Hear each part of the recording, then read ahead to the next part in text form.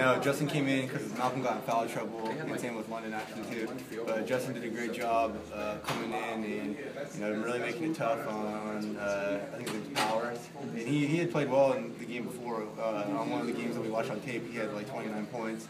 So we knew that he could come in and fill it up, and he was pretty quick off the bounce. But I thought Justin did a really good job, and I think the bigs did a better job uh, showing on ball screens and you know making it more uh, uh, difficult on on him in particular. Going So two the- straight games with runs of 20 points or more. Yeah. That's pretty good for you guys. I mean, what does that say about the way you guys are kind of focusing?